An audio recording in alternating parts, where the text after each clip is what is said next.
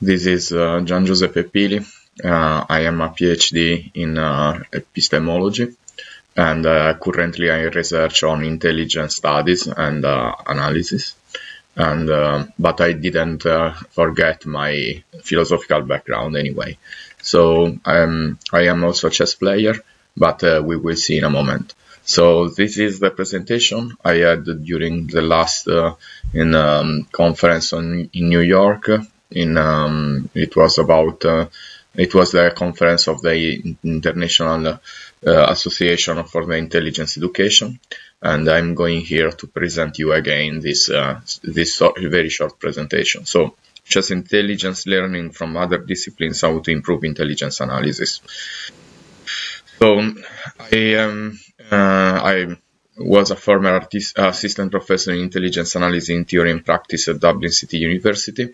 I, I am part of Intelligence Lab UNICAL organizational committee. And as I said, I am a mm, PhD in philosophy and science of, sciences of the mind. And as a chess player, I, uh, I was actually a trainer and a referee. And by the way, I also wrote uh, two books on the subject in uh, about uh, philosophy of intelligence, uh, sorry, philosophy of chess and philosophy of war and chess, and both are published in Italian. So I'm sorry for you, but uh, it is only in Italian for the for the moment. But uh, there are two drafts of two different papers, and one is about this paper. And uh, please feel free to ask if you want to have a preview of that. Okay, so let's go. Some quotation to, quotations to start. This is a struggle against the error. Um, and Jan Zukertort. Chess is a war over the board. The object is to crush the opponent's mind, Bobby Fischer. And, uh, and finally, the ability to work hard for days on end without losing focus a, is a talent. The ability to keep absorbing new information after many hours of study is a talent. This is from Garry Kasparov. Uh, all the three are great chess players, especially um, the, the last two, mm, two of the greatest chess players ever lived. Uh, as far as I mean, maybe I don't, I don't have any quotation from Magnus Carlsen, but by the way, anyway, the uh, the point is that, as you maybe remember, um, it wasn't at the peak of the Cold War when uh, Bobby Fischer and Boris Spassky played their match of the century. And uh, it was 1972. Many legends uh, pop, popped up uh, about this uh, this um, event. I don't know if uh, Henry Kissinger spoke to Bobby to force him to play because Bobby getting crazy right in that moment, and he, he wasn't sure that he would uh, go on during the, all the tournament. Uh, I mean the match. And Kissinger said, "Look, you have to play and you have to win." And of course, Fischer finally won, but we don't know actually if uh, if that happened. So Oh, by the way, I don't know if this story is really true, uh, truthful. I, I will, I, I, sooner or later, I will, I will discover. So it was far the, uh, the far 1972 many things were happening that sold sold to agreement between the major two super superpowers then. Okay? So uh, i mean the, the, link between chess and intelligence on and even more chess and war is uh, is profound. So, so since a long time chess is considered as an instrument for the minds of military officers strategists and theorists. As a useful example to we uh, visualize difficult concepts through a simplified but concrete model of reality. In the intelligence studies literature, chess is still re is really under considered even taking up, uh, into account their employment as case study or imaginary scenarios. By the way, interestingly enough, in the intelligence studies literature, there is indeed um, some publications on uh, publications on uh, um, intelligence and games of course, because uh, many games would be useful for the intelligence analysts uh, to learn uh, without getting into the field, so to speak. So learning by training before or even after uh, being um, uh, intelligence analyst. So it is not about games uh, in general, but it is much more about chess in this case. And uh, my argument is that that uh, chess is still a good a good way, a good common place, especially um, to think about uh, a, simplified model of reality which is sufficiently complex for everybody to grasp some uh, uh deeper uh, aspect, uh, aspects of reality. And as I said, it is a commonplace. Many, many people can play chess, even if it is not very, they are very, not, not very good chess players, but anyway, that is not the point. The point is that everybody can understand the examples, uh, thoughts, uh, and uh, argument, reason, way, uh, how the chess players play. So my meta, my, my conjunction is much more about chess and intelligence as as common challenges for two similar professions, meaning that there are chess players and intelligence analysts, and they too both um, have a similar approach to similar problems because they have a similar profession. Okay, so facing first above all, they both face uncertainty. The number of possible chess games is sufficiently high to be inexhaustible by any calculating machine that could be built in our universe. Nothing and nobody can exhaust all the possible situations that can happen in the future. So a chess player can only minimize the uncertainty and only in some occasions is able to reach uh, completely certainty on the chessboard. Namely, he is able to forecast the future very precisely. This is not what happens um, all the time during, during the game. Yeah, there are only few situations in which uh, the chess player is really able to calculate uh, um, by sheer calculation that of course has to be also precise because this is a, a premise of course. Calculating for calculation is not uh, something that uh, grant grants the result uh, by definition. You have to calculate very precisely so you have to combine the two. But this is possible but this is possible only in some situations. So they both strive to understand intentions intelligence analysts focus their attentions to the enemy's capabilities and behavior to figure out what opponents intend, eh, what an opponent intends to do. And that for a chess player is the same. A chess player knows quite well the uncomfortable feeling of being deceived or surprised by his opponent. So this is, I put here a, a, a really basic example where um, the same approach to the Sicilian uh, defense, okay, can be uh, can be uh, uh set up in the chessboard. Basically, this is instead of playing uh, um, the classical knight C- uh, f3 as the open Sicilian, okay, I would like to I like to play the closed Sicilian with knight c3, then um, maybe uh, g2, bishop g, uh, g3, bishop g2, then knight uh, knight a2 and uh, and the castle, or even even knight c uh, f3 but then uh, um, setting a, a, a, a neo uh, close uh, Sicilian. So I, we can play knight f3 just to, to, to give to the opponent the idea that then I will play the classic, the main move d4. Instead, I play knight c3 and uh, then g2, then bishop G, uh, g3, bishop g2, and then castle. Just to give you an example of uh, how to how we can create a, deception or uncertainty inside the, in, inside the chessboard.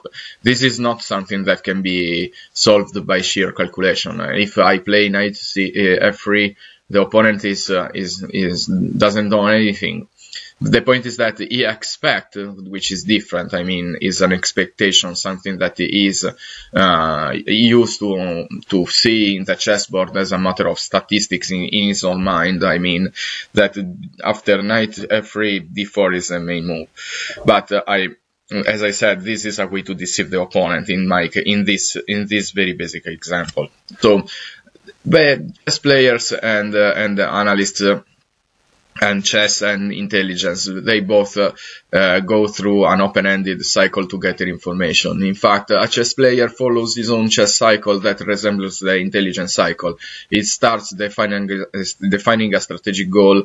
It, it goes on analyzing the position by a technical perspective and and by calculating alternative variants based on selection of candidate moves. So again uh, the chess players undergo the chess cycle for the entire chess game and beyond, as as we, um, many people know. Intelligence is uh, uh, um, the intelligence agencies uh, perform the, the so-called intelligence cycle, which is uh, mm, which starts from the in, um, of uh, policymakers' request than planning, gathering, analysis, and report. Okay, mm, that, so the, and report to the decision maker.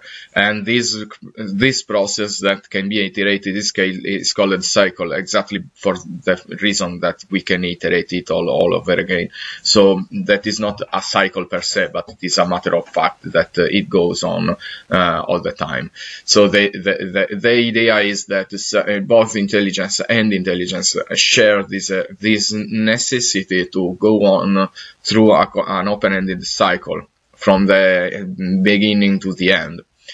On professional level, the chess player has to track the record of other GMs, collect, collect and gather update information on their games, uh, their performances, etc. So basically, the idea here, is that uh, there are two in chess cycles, so to speak, where one is inside the game and another one is outside the game. Inside the game, as I said, is a matter of seeing the facts, collecting them, analyzing them from a strategic and tactical perspective, and even maybe positional perspective, as we shall see.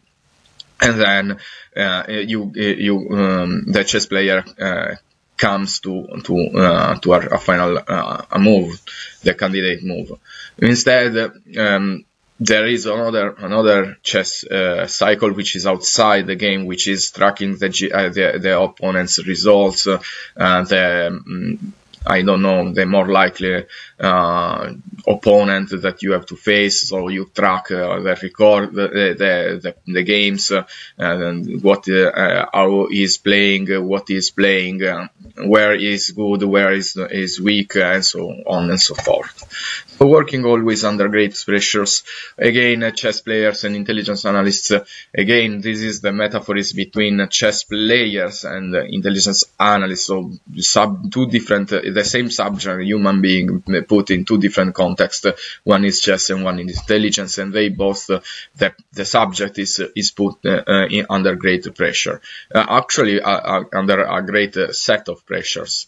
So, so first, well, above all, both of them work in time uh, work time pressure under uh, great time pressure. A chess game has a fixed time. The player who finishes that uh, finishes the first uh, the time first lose the game, whatever the position in the chessboard is.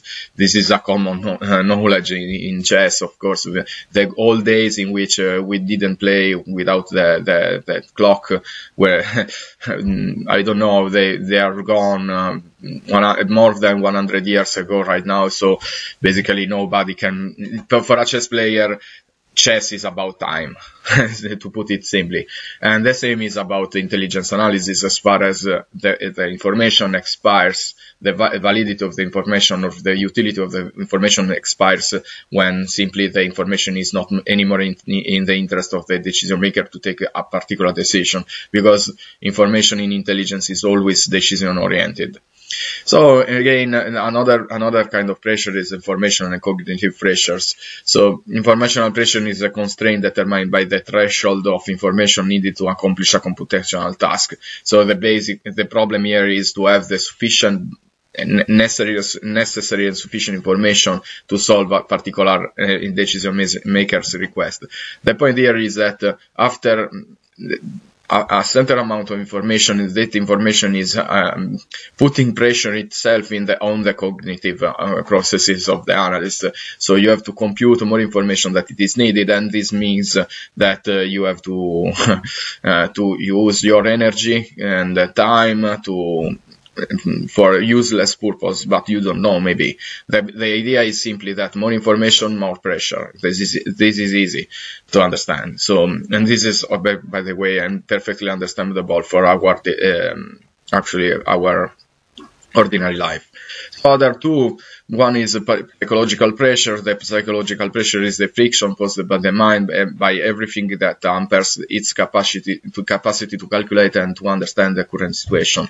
So basically, this is something a little bit different from informational pressure because informational pressure and uh, is the overload uh, of the cognitive processes by the, the amount of information. Okay, instead, psychological pressure is uh, something whatever it is, whatever the cause is that put friction in the mind, okay, and uh, that um, that can hamper the capacity to calculate. That basically, um, for example, uh, um, some some people can be uh, feel uh, it can be mm, can be yeah uh, can be start to be upset if uh, they are under uh, they are watched by other people. Let's say in a chess in a chess tournament, many times happens that uh, uh, other chess players go and on uh, on and on uh, to see the other other games in the tournament, and some people can start to be upset when other people are watching their game for mm, maybe judgment, fear of to be watched when you are making a mistake and so on. So many many times it, uh, it happens that uh, this kind of pressure is uh, is is um, is annoying for any for many people. And there are this is just an example, just to give you an example. So another is a physical pressure, simply that chess players to be able to endure and sustain a prolonged mental activity, which is known as one of the most demanding of all. But this is again shared shared completely as psychological pressure, of course, with the intelligence analyst of uh, as far as physical pressure um, to st- simply to to to stay uh, sit on a chair to, for so many hours uh, and you know that you you will pay any error and uh, you have to be focused on your your task and you cannot um, lose your control on the chessboard. This always remind you that you have to you to have to spend a lot of energy to to be focused on your task. So where analysis really makes the difference. The interesting thing is again, as far as as I said, as players and intelligence analysts share the same problems and then the same pressures, but they share also the uh, another another um, feature which is uh, um, the, the, the, the, the fact that they they both uh, um, work in a domain in which uh, analysis really uh, may, really makes the difference. So uh, there are many different uh, uh dimension of analysis. Analysis I selected four, just uh, um, I mean four different levels that both chess players and intelligence analysis analysts have to take into account when they do analysis. Actually, so factual dimension, one level of calculation in both chess, intelligence and chess is just to imagine the future scenario. Of course, the first level of complexity is defined by the sheer facts, so mainly whatever it is happening in the world or in the chessboard, uh, uh, as simple as that, and some sim simple facts. But again, the, the, uh, on the simple facts that anyway you have to know uh, very precisely and possibly understand in their causal relations, uh, and in the in case of chessboards, whatever is happening in the in the, in the board, but without evalu the evaluative dimension, then this is the second point, the evaluative uh, uh, component of the analysis. So the evaluative perspective adds a layer partially disjointed by the factual dimension. As far as this is an evaluation from a strategic, tactical, or positional point of view, um, the interesting thing is here that you can imagine a possible world in which you cannot judge but only know uh, factual facts basically. So it is possible to disjoin the two. So but we are so accustomed to do the same thing they, they both thing together that we use don't use to distinguish the two. However, they are two different, very different things, and actually, the main, as far as I know, the main difference between uh, uh, basic players and uh, masters or grandmaster in, in, in chess is exactly the ability to evaluate more and better um, the, the position on the board. I I think that the same can be said by uh, two intelligence analysts.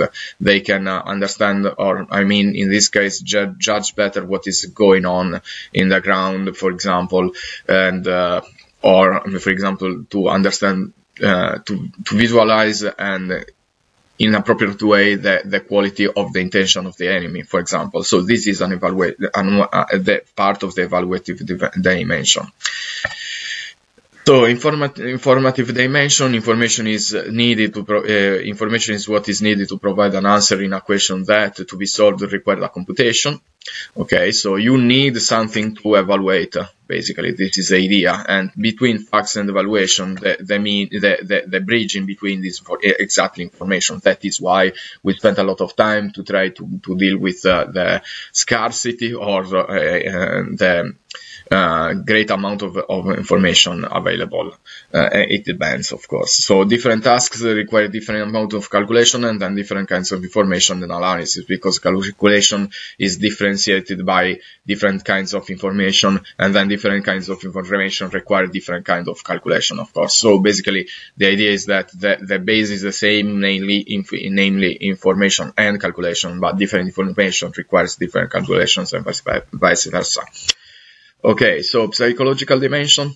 The psychological aspect is distinct by the other three as far as it, uh, it, it, deals with both cognitive uh, processes and their emotional expression. So again, it is, um, in this case, is about learning and training, uh, for example, how to resist, uh, to be, to focus your, um, to focus your your attention to, to your tasks. This is something you can train. Everything can be trained in the in the cognitive dimension. Then it is part of the psychological dimension. Of course, putting pressure on the opponent is part of uh, of the goal. So one example I wanted to give you just to see how, how it can work. So this is the uh, this is the position. Okay, look to the to the right. So there is a, cl a classic uh, chessmate here, mm, chessmate pattern with uh, queen h5, uh, bishop c4, and then mate h7. The, the interesting fact here is that there are there are a lot of facts here. Okay, so all the all the board, but uh, basically there is a lot of noise to solve this problem and I put it in the in below what only what is needed to solve this problem. So if of all the information contained in the in this uh, diagram in the in the upper diagram you can see uh, basically the relevant facts, not all the facts but only the relevant facts. Okay, and below you can see the pattern. And I put here the x uh, axis just to to show you how the, uh, how much uh, useless information, so to speak, uh, is present on the board. Okay, so of course this is uh, it, it, is why to move. Okay, so chess and intelligence, analytical similarities. Um, so we've we have seen uh, pressures. What is in common between chess and play and, and intelligence in in in the um, problem? So in the problems in the reality, so pressures, and then uh, the, uh, the, the mm, the fourth layers of uh, um, the fourth years that uh, um, that are under undergoing during the the, the, the both uh, both disciplines, and then we now can see the um, the, the analytical similarity. So we we are coming to the analysis as uh, um, precisely. So the extension of the chess analysis. A the analysis during the chess game. A point one tactical analysis positional analysis, strategic analysis. I mean, I'm not a grandmaster. I am a, a, a 1700 uh, rate, more or less uh, rating uh, um, rating, but uh, I mean, uh, these are. Uh, I'm not very good, but anyway, everybody has to do something about tactical analysis, positional analysis, and strategic analysis. by the way, there are many, many um, good chess books out there. we estimate there are. I at least 60,000 books. Many of them are exactly how to learn chess, chess analysis. So just to say how much chess analysis is important for a chess player. And B, the analysis after it. So B1 openings and, and technical learning. So for example, uh, tactics, uh, calculation, uh, combinations, and so on. Analysis of the opponents. As I said, you have to study your opponents, especially at the top level. It is simply necessary. And analysis of past games uh, as a matter of training and learning from the past experience. And of course, uh, uh, tactical analysis, positional analysis, and strategic analysis as, are just the same terms for the intelligence analysis. So especially tactical analysis and strategic analysis, of course. In chess analysis, tactics, chess analysis during the game, one, detecting immediate threats, um, two, pattern recognition, checking then selecting candidate moves, and sheer calculation and evaluation of the positions. Again, I think that these one four points are uh, completely shared by the, the analysts, the intelligence analysts that uh, have to understand how the, uh, what is going on the world, so they have to detect immediate threats, to report in the report the pattern recognition to, to, to, see and recognize what is really going on, the causal dimension and um, causal explanation of what uh, you are seeing uh, in, in, in a particular context, political, uh, geopolitical uh, confrontation, for example, checking and selecting candidate moves, in, in this case, checking and selecting facts and uh, of course, and sheer calculation and evaluation of the stop position in this sense, where um, when I have to stop to understand the future in the future uh, situations. In the in the in for example in a geopolitical competition between, uh, for example, China and USA in, in the trade competition. So uh, in the trade war currently. Um, which is currently going on. So when uh, should I stop? 100 years, 200 years, 300 years, uh, and so on, just to give you a silly example. So chess analysis uh, position, chess analysis during the game, so inside the game, one safety of the, uh, these are the main things that you have to, to look to look at. Uh, so safety of the king, activity of the pieces, materials, pawn structure, space, in, initiative, and structural weaknesses. Just to say, these are not my uh, my ideas of mine, but I I took them by many books, but especially uh, from from one that you can see in the in the, in uh, in the bibliography. So chess analysis strategy, in particular chess analysis during the game, uh, the, uh, the, strategic analysis is based on three, let's say, basic questions. So where do, uh, do I want to place my pieces in order to maximize their strength? B, what I can do to thwart the, uh, the opponent's plan? And C, what I can do to improve uh, my position looking to the long term. So again, one, C, I, I think uh, are, are shared not only in intelligence analysis, but in even even more in in strategic in, strate- in the strategic thought of the commanders. Okay. But of course, as far as intelligence, especially military intelligence, is deeply linked to uh, to the to the military history and to the strategic planning. So, of course, uh, this is part of the intelligence analysis too or at least of the tools of it. So time to learn, chess players are skilled, experienced professionals uh, whose ability is mainly uh, in function of six major factors. A, knowledge, uh, uh B, analytical skills, C, preparation, D, adaptability, A, simulation, F, rewards and punishment. So basically, the idea is could be to try to have to, to put this AF inside the process of intelligence an analysis to improve it further. So just to conclude, when we think about chess, and this is Smiley People 1982 and Tinker Soldiers, uh, Tinker Tailor Soldier Spy. Um, there is also the series, uh, uh, which is even uh, before the Smiley People, uh, which is grounded on um, um, Le Carré uh, fictions. Uh, um, I strongly suggest to, re- uh, to to read the books and to to watch the the two series especially, but also the movie is not so bad. So basically, the idea is that as you can see in uh, in spy movies, chess are everywhere. Okay, when and when we uh, we think about intelligence, um, oh sorry, when we think about chess, we think about intelligence, but we should take it seriously okay, this is uh, a picture taken from uh, uh, the Cold War. Maybe we should not take so seriously with this. Uh, I thank you all. And uh, okay, there is no bibliography in this presentation. I'm sorry, but if you want, uh, you can uh, want it. Uh, you know, want this paper. You want to know more about me? Please search for me, Giangiuseppe Pili. Uh, you find easily my email, and please feel free to ask my paper for having a look on it. Okay. With this, I thank you all, and I wish you a nice day.